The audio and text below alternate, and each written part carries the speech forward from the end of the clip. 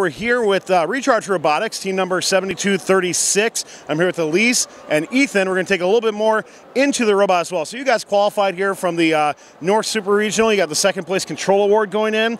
Uh, so let's talk about control and some of the cool features on your robot. Uh, so Ethan, run me run me through your intake and some of the cool things that you have here. Okay, so for the autonomous portion of this game, we'll start off by scoring one glyph into the crypto box, which is part of the FTC game, and then we'll actually go back into the glyph pit and collect additional glyphs. So I can show you a little bit about that, how, how that works here. Yeah, let's take a look. Okay.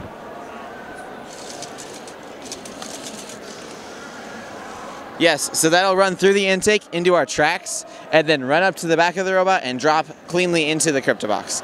Oh, Oh. No, go ahead. A way we can line up really exa exactly is we've developed a lateral motion inside of outside of the drivetrain, which is fairly unique on a robot, and then implemented two infrared distance sensors to be able to precisely align with the columns on the CryptoBox.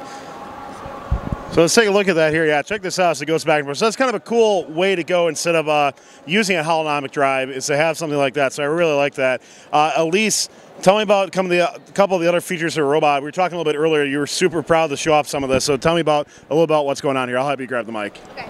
Um, so we have uh, our relic mechanism, and this season in the game, you're only allowed to have eight motors on your robot, and we ended up using all of that on our main scoring mechanism. And so instead of having uh, motors on our relic mechanism, we, we're comprised of two servos, I believe, three servos, and an elastic cord. So when we need to um, send the relic mechanism out, all we do is release it, and it goes out in less than a second. We do that one more time? Yeah. I wanna, I yeah.